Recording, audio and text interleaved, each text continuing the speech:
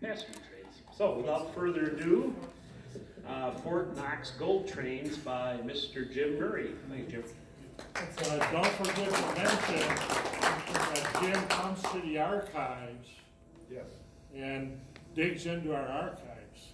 Yeah, I am a big user of archives, uh, and a big believer in them, so, you know, I, I can, you know, uh, sympathize with what Harry's talking about, putting stuff and people actually using them and everything. Uh, I burned about a half a tree of paper uh, yesterday alone, copying stuff that I found, just rattled in banker boxes. It's kind of like, oh, this looks fun, and go through it, and, and, and the outcome of that is things like this, because everything has a story, you know, how you got interested. And as I mentioned to Harry on the way out, some of you might have heard it, that I recognize those pictures of his, uh, the Winthrop Harbor Station, uh, the Zion Station. I went to high school in Zion. Uh, I lived about eight miles due west of Harry on State Line Road in Russell, you know, wide spot in the road, which people back prior to the change of the laws, uh, the big business for Russell, or a couple miles west of us, where 41 crossed uh, State Line Road was selling margarine to people from Wisconsin did not blue bonnet margarine in the state of Wisconsin. Right. And uh, you guys remember that. And so uh, my family had a farm in Russell since 1845 or so. We've been there a while. But anyway, uh, so I used to ride the North Shore down to Wrigley Field. I mean, you know, back when you could do that in the late 50s, early 60s. So anyway, getting into this. Uh, use the arrows. Arrows, uh, yeah. That will be to the right. We- uh, up goes, whoop, we need, which one's forward? Forward is right. Okay, gotcha. Yeah. Uh, Those of you, uh, you know, old enough, like most of us, you recognize this is, uh, you know, what Lionel thought it was for uh, moving gold to Fort Knox, uh, according to their catalog. And uh, Naomi couldn't be here. She had, she has a real job. And so uh, this is uh, kind of me on my own. And normally she would run the computer and do all this AV stuff. So we'll see how well I can get it done solo here. Okay, so today's presentation, we're going to talk about moving gold into Fort Knox. And so this is kind of your newspaper, who, what, where, when, why. Uh, who did it? Well, Franklin Roosevelt did it. And the reason was this is the Depression. You know, this happened in uh, 1933 and on. Uh, they were worried about, they had the runs on the banks, they had to close banks. Uh, my step-grandfather lost all of his business things. When the bank went under, he deposited at night. The next morning, the bank was gone, you know, that kind of stuff. Uh, the gold was stored in New York and in Philadelphia. And then uh, it happened in a couple different moves. And then what it was, it was 84 mail trains. You wouldn't think mail trains moving uh, gold bullion of the United States, but there you go. And as it says, the greatest long distance move of gold bullion in history, still is.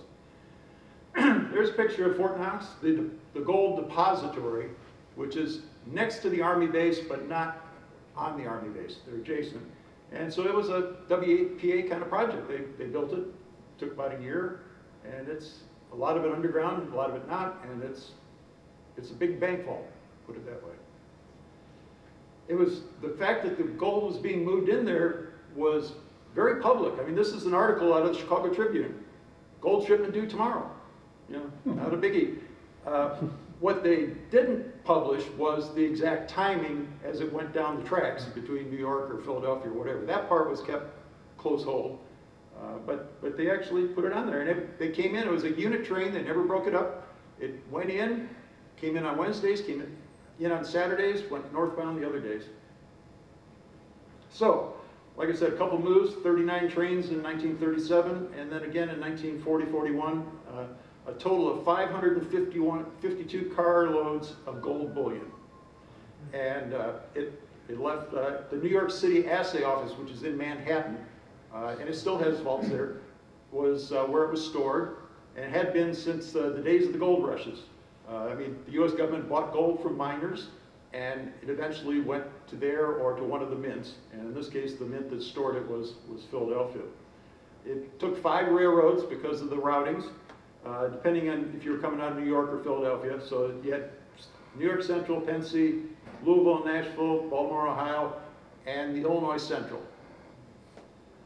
Uh, train composition, normally 12 cars. Like I said, it ran basically like a unit train now today, hauling uh, coal or grain or anything else.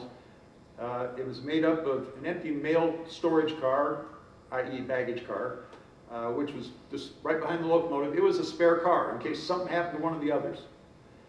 Then there was a combine, which was the baggage for the people on the train.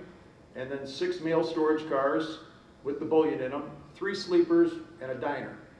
And the Pennsy did all the uh, modifications to the baggage cars, which mostly involved on how you were going to uh, secure the load. And we'll see some interior pictures in a minute. And I've seen references that I couldn't double check and verify, but they also might have changed the springs out on the trucks uh, to carry heavier. Uh, These are one of those that were kind of weight restricted, it wasn't volume. You, you can't stack gold bricks from the floor to the ceiling on a baggage car unless you've got like, you know, massive trucks under this thing. Okay, gold brick. Each one of those little bricks is 400 troy ounces, which is not exactly like ounces like we use them, but call it one of the same things. And those weigh 27 pounds apiece. And my brother and I were watching a movie on the TV uh, earlier this morning, like The Italian Job or something like that. And they show these guys taking a couple of gold bricks and putting them in a briefcase and walking around. No, no, no, you- you're not going to do that. But anyway, the, the uh, price of gold in those days was $35 an ounce. And we're going to uh, get a little bit farther, but up until 1933, the real price was $20 an ounce. That was the price that the U.S. government would pay. Uh, and, and you could actually exchange uh, 20 U.S. paper monies, and they would give you uh, gold double eagle, which was one ounce of gold. But the government, the first thing they did after they pulled back the gold is they changed the official price from $20 to 35. So on the books, the federal government made a 75% profit by just a stroke of a pen. But that's government accounting.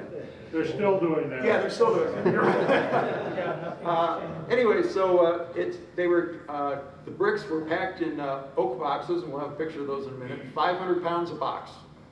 And four boxes a pallet, so a ton on every pallet. So they were pretty good pallets. They weren't the cheap, uh, you know, uh, economy grade pine that we see nowadays. Uh, 120 boxes a car, so roughly 60,000 pounds of gold per car. And in those days, prices, $25 million a car. Wrong one. Okay, there's the cart that they would use. You notice they're solid iron wheels, and those are the boxes. And you, if you look at the corner uh, braces, they're kind of hooked over. You could actually put uh, like a steel rod there to help lift it. That's how they had to do it. Or you had to be a really strong guy. Okay, there they are in the car. And you can see it's uh, got blocking around it and everything. And there, there they are, just uh, packed in there. And notice where it's stamped US mail. There's a reason for that. Now, I mentioned that uh, there was five railroads, but the Illinois Central was the only one that carried every single carload of gold. And that was because the trains would come down from either New York or Philadelphia, run along the Ohio River, and got to Louisville. And from Louisville, there's a branch line that ran down to uh, uh, Fort Knox. It's, it's hard to read, but basically, the, uh, the second small name underneath Louisville there is Fort Knox, uh, right there. It's, it's actually like 12 miles out of Louisville. And uh, it, it was dispatched out of Paducah. That was the division headquarters for the IC for their Kentucky division. Now, obviously, on something like this, they, they did some planning for it. They did full rehearsals with the guards. Uh, they, they literally put in machine gun emplacements, uh, bridges, tunnels, any place that could be ambushed. I mean, this is the days of gangsters running around Chicago shooting up things, you know. Uh, they cleared all the underbrush from underneath the bridges and things. They put in temporary phones on the north end of each bridge. Think about it, because the- loaded train is going southbound, so they're only worried about the north end of the bridge. And then uh, they put every spare part they could think of that they might need on the road in that uh, uh, baggage car. Uh, You know, the normal things, uh, hoses, uh, couplers, you know, you you name it, and then other things for the locomotives themselves. Security, they had a a flagman at the north end to stop the train if they needed to. They had a motor car that ran ahead. They had army detachments at what they considered to be choke points along, along the route. And they did bridge inspections 30 minutes prior to uh, arrival. So this is a lot of the same stuff they would do on moving the president. This is the same kind of stuff. Uh, I can't remember if they actually spiked the switches, but they were doing just about everything else. Okay, here's on board the train. Okay, you had four post office inspectors. Uh, basically supervisors in this case, the law enforcement side of the post office department, 12 RPO clerks, two Army officers, 32 soldiers, which would deploy anytime, like for engine changes, crew changes, they deployed around the train, and basically one platoon of infantry. And then, at least in the IC, and probably the same in all the others, there were two railroad special agents that rode, one in the cab and one uh, back with the Army detachment commander. And the guy in the cab on the IC carried a shotgun. That was, they made a point of that, you know, as, everybody was armed. I mean, this, the, the post office clerks and everybody, this wasn't just uh, uh, unique to them, but it was just different. And each locomotive and, uh, and crew was provided by the railroads. They didn't run through uh, power on these things. So here's the basic schedule. We mentioned already before, they arrived every Wednesday and Saturday. It, it took six months to run the trips for the first, uh, the first batch. And the first one was in uh, January 13th of 37, and it came from Philadelphia. It had $200 million in, in gold on board, and that is in the, the 1933 dollars.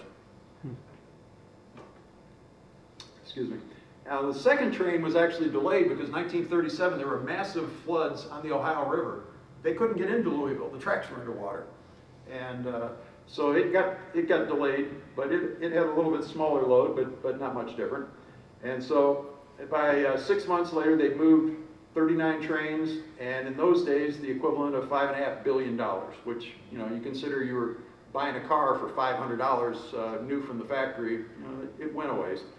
So that was 445,500 of those gold bars. So, uh, they thought they were nearly done, okay? Uh, they, they moved all the stuff into Fort Knox, and everybody was happy. And then about three years later, two years later, we changed the laws. There, World War II had already started in Europe, you know, and uh, and the U.S. initially we didn't do anything. I mean, we were completely going to be isolationist about this. But then they passed what they called the Neutrality Act, and basically it, it meant that we could sell arms and uh, airplanes, whatever, to anybody, but it was cash and carry, and you paid in U.S. dollars. Okay. So the way you got U.S. dollars, if you were uh, uh, France or whatever, is you bought dollars and you bought them with gold. Okay? So by 1939, this money is being deposited in New York. The New York Assay Office was where international payments were always uh, settled. And it, it still is, basically. And so uh, there was more gold now sitting in New York again than there was in Fort Knox. So we got to do something about that. So 1940, 41, we moved them again. And they used the same pattern. They already had a plan. They knew it worked and everything. And they ended up moving three times more than they had. So now we're up to 649 billion or million ounces. Uh, and as I've put on there, currently the last figures I could get from 10 years ago or so, it's about one-fifth that amount that's still there. It gets sold out for everything from, uh, uh, you gold plate a lot of uh, satellite parts that go into outer states, uh, you, you sell it to goldsmiths, you sell it to dentists to fix your teeth. I mean, it, it gets used, it's not like it's uh, being stolen. But uh, anyway, so this is showing them uh, unloading the, uh, the vaults in New York. You see the little vaults on the right-hand side. And then there's the mail trucks leaving the, the assay office. And a convoy of motorcycle cops and mail trucks going through New York. Go down to the yards to uh, load. The, I love the guy with the, uh, the sidecar there. and there we are. Uh, they got them on hand trucks and they're pushing those uh, uh, little uh, buggies we saw And now we're inventorying them because everything is obviously going to be inventoried. and so the guy with the, the clipboard and the fedora is uh, doing his bit. And the guy next to him, uh, the far right guy, you can see he's wearing a gun belt. and now we're down to the yards. Uh, uh, Pennsy B60 uh, series uh, baggage cars that have been modified and the Army guys deployed around it while they're uh, getting ready to load. And now we got the mail trucks backed up, and the sleepers were put on the back end of the train. The gold cars were to the front. And here's the only shot I could find of one actually uh, kind of in, in motion or whatever. And so you can see the extra flags on the locomotive, and this is, uh, uh, I believe this one's an IC engine, I can't really Yeah. see. Yep. Looks like it. And then, uh, you can see right behind it's the spare baggage car with the, with the parts and basically the spare car in case they had to pull one out of this train. And then the combine behind it, right before the bullion cars. So when they got to Fort Knox, they hired local guys, you know, local uh, unemployed farmers or whatever to unload it. And it took five to six hours to uh, unload it, and they're going into army trucks, as you can see there. And more of the unloading, and there's the official 1940 version armored car from Fort Knox, cavalry unit there. And we've now made it to the building.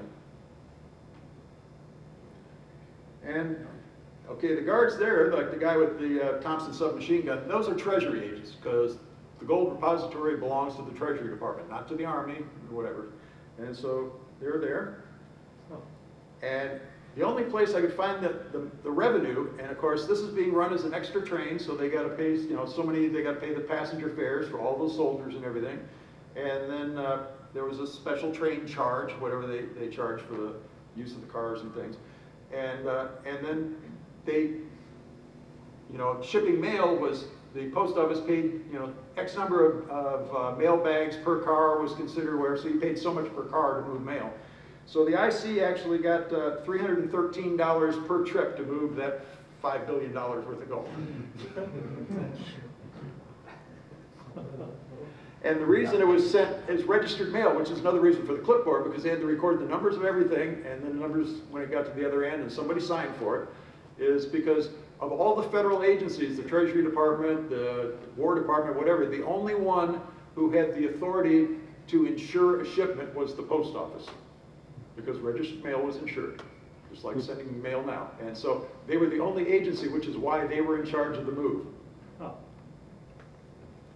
Now, the next one, it's, it's not 100% related to that, but I just thought it was interesting. Uh, one of these things I stumbled across, you know, going through archives and stuff. Uh, well, kind of like the whole gold thing here. I stumbled into that because one of my brothers worked as a baseball coach at Western Kentucky University for 27 years. And I was there visiting him one time, and while I'm waiting for the game to start, the university library was just a couple blocks from the ball field. And I was in there just killing time, and I found this book said Railroads of Western Kentucky. And so I looked in there, and it had excerpts from the IC Employee magazine that talked about the gold move.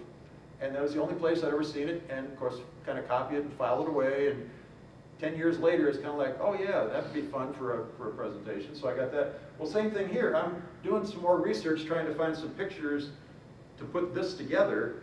And I stumbled across something that talked about a secret move of documents from the Library of Congress to Fort Knox in 1941. And I go, never heard of that before. And, you know, like, like why would you do it? And why was it secret and all that? So, what we've got here is the, the man that was the Librarian of Congress, and in those days, things like the, uh, the Declaration of Independence and the Constitution, things that are now on display in the National Archives, in those days, they hung on the wall in the Library of Congress. And, uh, and the man that was the, appointed by FDR uh, after he became president to be the librarian, which is a political job, he was, had been the president of Harvard. His real academic training, or he was a poet. That was, he was a published poet. And so he, he ends up being the librarian, okay? And 1940, the war is going pretty good in, in Europe. I mean, the French have already surrendered, the, the British are being bombed and everything. And so he gets his staff together and he says, you know, we've seen all these libraries and universities and everything just burned to the ground in Europe, losing all this stuff that's, you know, priceless kind of stuff. He says, we need to put together a plan because I think we're going to be in this war. And so they started at the uh, December of 1941. He says, go through and inventory everything we got and divide it up into categories. You know, tier one being the most valuable, irreplaceable, and tier five being, you know, copies of the congressional record or something. You know, just work it down into what you can replace and what you can't. And then another uh, group went out and started surveying, like, where can we put this that's bomb-proof and it'll be preserved around Washington, D.C. And they did everything. They checked the railroad tunnels under the mall. They, they uh, went all over, and everything had a problem. It's like either the roof leaked, or it was a fire hazard, or it was whatever. And so they decided there was no safe place in Washington, D.C., and they may not have time or money to build something. So what they decided to do is they, they happened to be talking to the Secretary of the Treasury, and he says, I can make one of the small vaults, vaults in Fort Knox available for you to put stuff in. And so uh, that's what they decided to do. And so the tier one items, which was only eight things, eight pieces of paper, and so that fit in real easy. And then uh, they went through and it, it turned out that they moved not only the eight things, they ended up moving 5,000 boxes of stuff out of Washington DC at the beginning of World War II. And the other stuff went out to uh, uh, colleges around Lexington, Virginia, and uh, say Oberlin, Ohio. But anyway, in Ohio, and then also to another, uh, another group of stuff that went to North Carolina. And only a handful of people knew the exact locations of what was going to go where. Uh, one thing, I mean, if you ever read history about stuff, FDR was terrible about keeping a secret about anything, and his wife was even worse. And so they, they, they didn't tell him. And we'll get to that in a minute. Uh, so anyway, uh, the first move was done literally less than three weeks after Pearl Harbor was bombed. So the war had just started and they got it out of there immediately. So here's the things that they, they labeled the Charters of Freedom, and those are the eight things that they moved. And one of those wasn't even ours, that Magna Carta copy, it was, it belonged to the British government. It had been in uh, the Lincoln uh, uh, Cathedral in England, and it was actually on display in the New York World's Fair, which was 1939-40. And because the war was going on, Winston Churchill said, can this stay in America? Because we don't want to risk trying to bring it back through the you know, submarines and the bombs and everything else. But uh, those, the little footnote there, the asterisk where it says original signed and gross copies, that is like, for all practical purposes, that is the original. You know, John Hancock's name, it was like they, they took the uh, draft thing, they took it to the printer, they printed a copy, they took it back, and everybody hand signed it. So those are the, the originals. So here's a little timeline on it. Okay, on the 23rd of December, they packed those eight items in bronze cases, sealed it with lead, uh, packed it with that uh, Excelsior stuff, that packing material they used back in those days, and then put them in wooden crates uh, and, uh, and wrapped it in brown kraft paper because they figured that made it look very inconspicuous. Tied ropes around it so you could carry them. And of course it's fairly light, basically one guy's carrying it. And uh, they were ready to go. They didn't want to talk to the president or anything, but they got this attorney general to write a letter saying, I believe the Librarian of Congress has his, on, on his own uh, authority can do anything to safeguard any of his uh, resources that he wants to. In other words, they didn't have to get the president's permission to move this. They didn't have to get anybody's permission. He, it was all his, his authority. It was his library. He could do what he wants with it. And so once they had that, they said, okay. And so literally that night, uh, as you can see there, they took it from the Library of Congress Annex, which had loading docks, uh, just a mile or so from Union Station in Washington, put a regular commercial armored car, drove it up there. They went through the baggage room, came out on the platform, loaded it into a compartment in a, in a standard sleeping car on the, uh, the Baltimore, Ohio uh, National Limited. The train pulled out. The only people with it was one Secret Service agent and the Assistant Librarian of Congress. There was no big guard detachment. It was pretty much, you know, uh, do it in plain sight and nobody will ever question what it is. And uh, they had the, the documents in one compartment and the other two guys were in the other one. And so, I mean, you know, it's literally all that stuff that was so valuable was guarded by one uh, 38 snub-nosed revolver that the Secret Service had. Uh, that next morning, the train arrives in Louisville. It's met by Secret Service agents and an armored car again. Then they picked up an Army escort for the 45 miles down to, down to Fort Knox.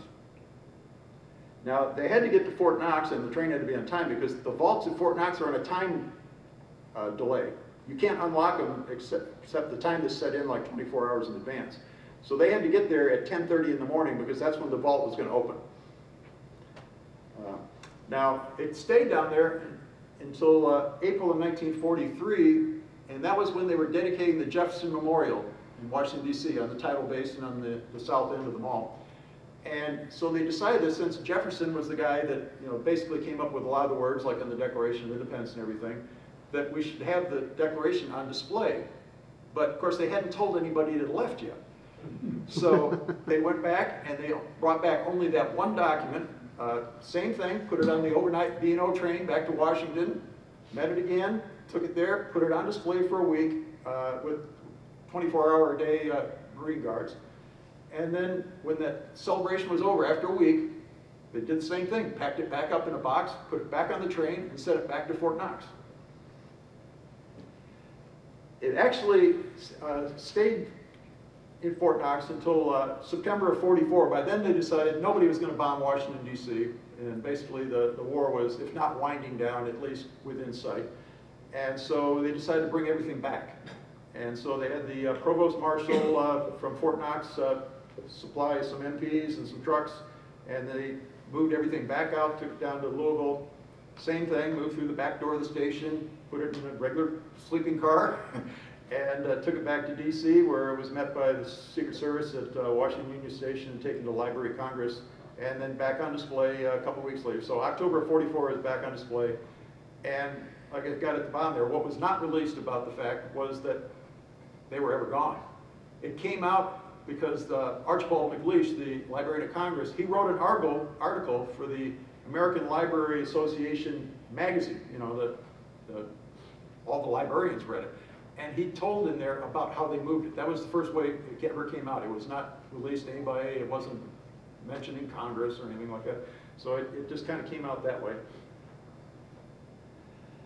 So, and the other things, like I mentioned, there were other things, 5,000 cases of other documents that went to, to Lexington. They went to uh, Virginia Military Institute, William and Lee uh, College, uh, Oberlin, I think was the other one. But they also moved 50 or 100 paintings from the uh, National Gallery, and those were stored at the uh, Biltmore House, the uh, Vanderbilt Mansion outside of Asheville, North Carolina, which was a big, huge, you know, palace. And uh, they had plenty of room to hang paintings and store them and everything.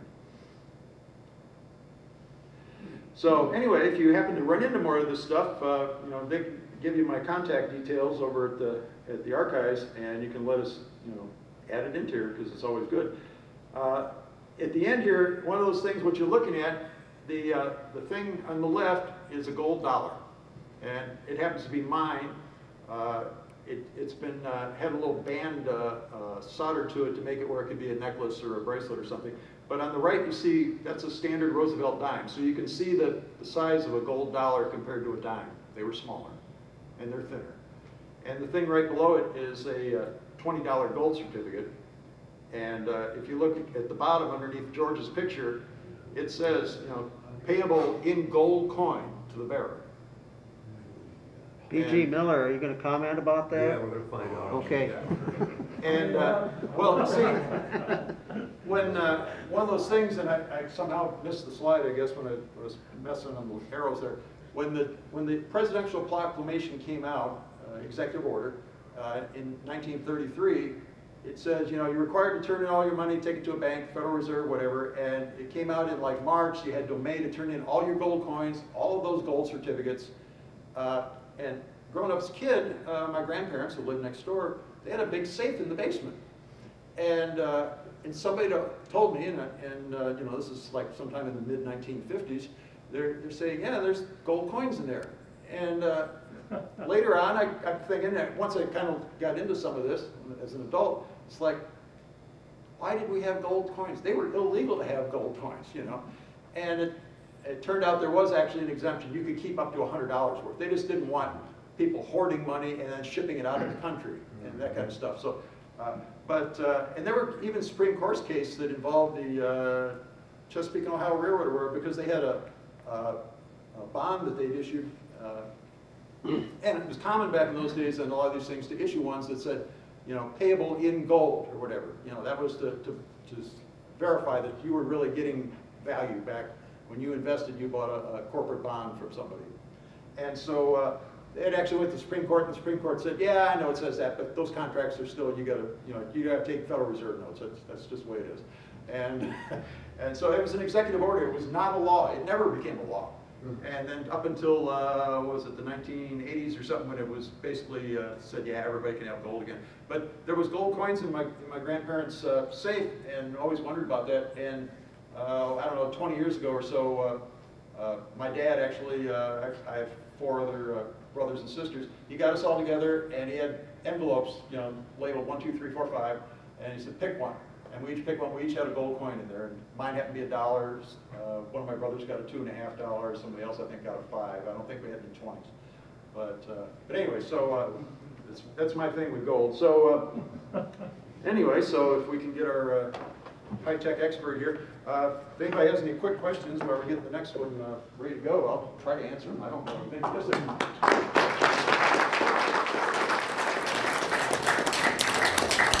Do you know if there were any attempts to rob a gold train? As far as I know, there were never.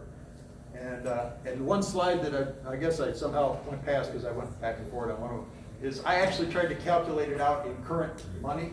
And it, it's something like over five trillion dollars. Because the, the price of gold, uh, a couple days ago, when I checked the last time, was just a buck or so under two thousand dollars an ounce. Well, this was being moved at thirty-five dollars an ounce, all those numbers that I gave you. So, uh, yeah, each train load came out to be something, uh, or no, each car came out to be something like two hundred million dollars or something. uh, You know, so you, you take all those numbers that I gave you and basically, uh, you know, multiply by about ten, eight, something like that, and you come up with some really big numbers. My calculator got to one of those things where it just tells you, you know, add the right number of zeros because I can't keep going any farther. Most people don't realize that the RPO service transferred all the money by the Federal Reserve. And every employee on that RPO car was armed. Right. They had a thirty-eight stun ghost five shot and or shotguns in a rack on the wall. Yeah, and that's, of course, the, the big, uh, train robbery at Rondout. That was because it was carrying mail from the Chicago Federal Reserve to Minneapolis. That it was, uh, it was, uh, seven million dollars worth or something like that in lot of money nineteen went twenties. by train. Yeah, and, but yeah, they were armed, and prior to that, they'd actually, uh, because there were mail truck robberies and stuff in Chicago in the twenties. And because of the same reason, they're carrying cash, and they actually, starting about nineteen twenty, the post office had Marines assigned to guard the mail cars, Calvin Coolidge did that one. And they literally shot some people on the street, because the Marines were told, you know, shoot to kill, you know, on- to defend the mail truck. And so, and they did, so, yeah, Bob. Did the railroad, you said the railroad supplied crews, did they, there any evidence that they looked at their engineers and, and, or did they just get stuck with a train at six in the morning and they didn't know what it was? Yeah, I or- don't know, it. I don't know it, because like, if they were moving the president, they actually, you know, checked, or, you know, they, they would normally take, you know, the senior guy or whatever, you know, but they actually, the Secret Service would vet them a little bit. I don't know if these guys just came off the extra board, or, you know, how they did it. I, I, I couldn't find anything specific Well, enough. normally, if it was an extra train, it probably would have just been, hey, you're doing it today. Yeah, yeah, whatever, yeah, uh, hard to tell. But, Not that there were any dishonest engineers on the railroad. Well, and, and, and, you know, if you were going to, uh, help out with, uh, you and your gang buddies to, uh, try to rob it, I mean, like I said, I, on the IC, IC, the one uh, uh, special agent, the one railroad cop, he's standing right behind you with a shotgun. You know, not to mention the forty army guys in the back, you know, and, and the mail clerks and everybody else, so. Okay, so.